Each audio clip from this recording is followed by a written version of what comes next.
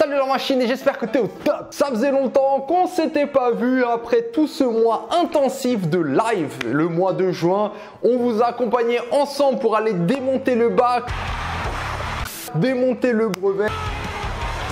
Merci pour tous les retours que j'ai eus sur Snapchat, sur Instagram. Bref, c'était vraiment phénoménal. J'espère que pour toi aussi ça s'est bien passé. Mets-moi dans les commentaires un peu ce que tu as eu niveau mention, niveau note. En tout cas, le but, ça sera toujours de t'accompagner au top avec Matrix. Et avant de vous donner les 5 points pour gérer une année difficile, j'aimerais juste faire une petite parenthèse que là, sur le site, comme tu le sais, depuis le début, on a commencé surtout avec les maths. Après, on a étendu à l'SVT et à la physique. Et ce que j'aimerais dire, c'est qu'à présent, on travaille aussi sur bah, toutes les matières en fait. Donc, attends-toi à voir toutes les matières apparaître petit à petit sur le site matrix.fr. Comme ça, tu pourras aussi réviser tout le long de l'année. Tu pourras voir tous tes cours, être vraiment tranquille et te concentrer sur l'essentiel. Donc, on sera là ensemble cette année.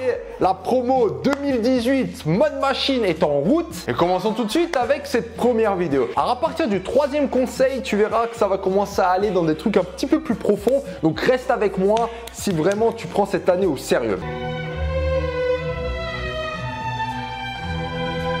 Entoure-toi de bonnes personne. Une règle très simple, si tu as l'impression que tu es le plus intelligent dans la pièce, c'est que tu es dans la mauvaise pièce. Vraiment, et je sais que ça rassure l'ego, ça nous donne peut-être plus de confiance d'être la personne qui sait tout. Dès qu'il y a une question, c'est toi qui réponds. Mais dis-toi que là, tu es en train de tirer tout le monde vers le haut, ce qui est très bien au passage. Mais toi, qui va te tirer vers le haut? Donc garde à l'esprit qu'il faut constamment que tu t'entoures de meilleures personnes pour que toi aussi tu te fasses tirer vers le haut. Et la deuxième partie comprendre, c'est que tu dois t'entourer. À mes yeux, les personnes qui échouent sont les personnes qui vont commencer par s'isoler. Dès que ça va pas, elles s'isolent. Et puis quand tu t'isoles, tu vois comment c'est. Tu commences à te faire des histoires, tu as l'impression que tout va mal, c'est un complot, le monde est complote contre toi. En fait, tu commences juste à te faire des films de malade mental dans ta tête, en mode science-fiction des années 2028. Et puis au final, c'est juste du stress que tu crées. Et vu que tu es seul, il n'y a plus rien qui te rattache à la réalité en fait. Fais gaffe parce qu'on a surtout tendance à s'isoler quand ça commence à ne pas aller. Tu vois, on n'ose pas trop partager les échecs, on a honte en fait. Tu as honte, du coup tu veux cacher les choses. Plus tu vas commencer à cacher, plus tu vas commencer à avoir honte, à ne pas en parler, et ben à un moment donné tu te retrouves pas tout seul. Et puis là les groupes ils sont déjà formés et toi tu es seul dans ton coin. Et là tu as augmenté tes chances pour échouer.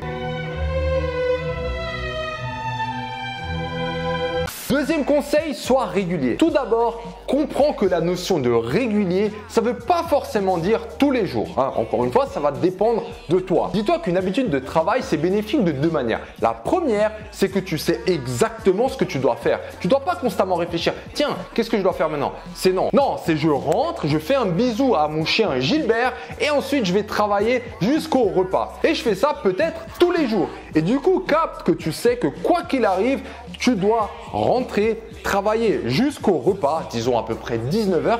Et après, le truc qui est très positif justement d'avoir un planning de travail, c'est que tu sais que après ton repas, tu peux te reposer en toute tranquillité. Hein Parce que souvent on est là, on culpabilise, on dit ah tiens, je devrais encore travailler un petit peu après le repas. Du coup, tu es là sur ton portable à moitié en train de travailler. Bref, tu sais très bien que ça ne sert à rien. Donc le fait d'avoir des habitudes, ça va te permettre d'être à la fois plus concentré sur ton travail et aussi être plus concentré sur ton temps de repos. L'effet d'entraînement. Ça peut s'appliquer à un sport, mais aussi à un jeu vidéo. Regarde, quand tu commences à jouer à un jeu vidéo, au début, tu as une progression très rapide.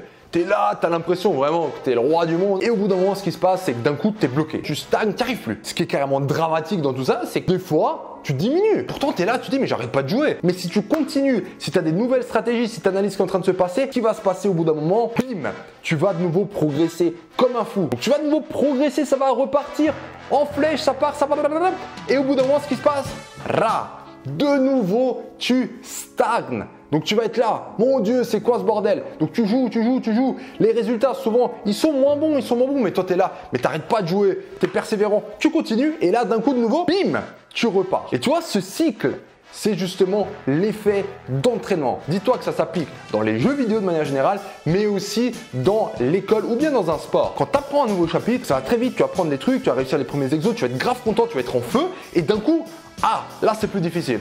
C'est plus difficile, donc au lieu de paniquer, c'est ça qu'il faut retenir. Tu dis, ah, c'est normal. Là, je stagne. Quand tu stagnes, c'est là où tu dois chercher des nouvelles méthodes, des nouvelles personnes, ou t'entourer, etc. pour que cette personne aussi t'aide à passer ce cycle de stagnation. Et au bout d'un moment, tu vas repartir. Et ce que j'aimerais juste que tu gardes à l'esprit, c'est que au lieu de paniquer, au lieu de réagir, apprends à anticiper ce cycle et tu seras beaucoup plus tranquille dans ta tête parce que c'est normal tout le monde, hein, même le meilleur, il passe par ce cycle d'apprentissage. Il est dur parce que ce que moi je te conseille, c'est d'être très humble dans ton apprentissage. Quand tu bosses avec les personnes, t'oses pas dire que t'as pas compris. On a tendance à se braquer et à se dire ah ouais je l'avais capté. Alors que pas du tout. Il faut être humble quand t'apprends. Moi il y a une expérience qui a été super, c'est que j'ai fait mon master en finance alors que avant j'ai fait que des maths. Quand je suis allé en finance, j'étais en mode je ne sais rien faire. Expliquez-moi. Et ce qui s'est passé, c'est que j'ai réussi à vraiment rattraper trois ans en limite de finance en quelques semaines, allez on va dire mois, parce que tout le monde voulait m'expliquer. Dis-toi que les gens ils aiment bien se sentir valorisé et expliquer.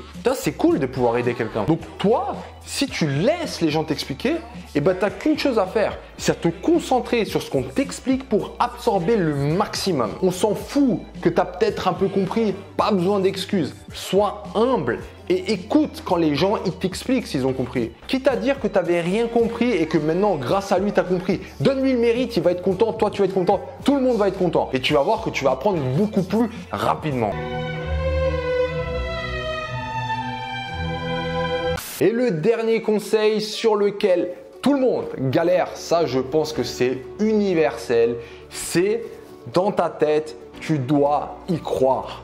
Vraiment y croire. Le fait d'y croire, ça veut dire que tu dois te dire que tu le mérites. Ça, c'est de la confiance en soi au final. Mais comment te dire que tu mérites une chose? C'est difficile. Des fois, on est là, ouais, j'ai l'impression que je le mérite pas. C'est trop bon pour moi. J'ai un truc très simple. Dis-toi que si tu travailles plus, eh ben, ça sera mérité par ton travail de recevoir plus. Réfléchis un petit peu là-dessus, je te laisse limite méditer là-dessus. Là, on peut partir en philosophie si tu veux. Voilà les machines, les 5 conseils pour réussir une année difficile. Dis-moi lequel te parle le plus ou bien celui que tu galéreras le plus à mettre en place dans les commentaires. Profite aussi pour me dire le type de vidéo que tu aimerais plus voir sur la chaîne au courant de l'année. Comme dit sur le site, on travaille tous les jours en mode machine pour te sortir le plus de matière possible. Va voir matrix.fr, il y en a déjà pas mal qui commencent à venir du collège jusqu'au lycée. Et finalement, si tu veux plus de conseils tous les jours en story et aussi en post, va suivre le compte Instagram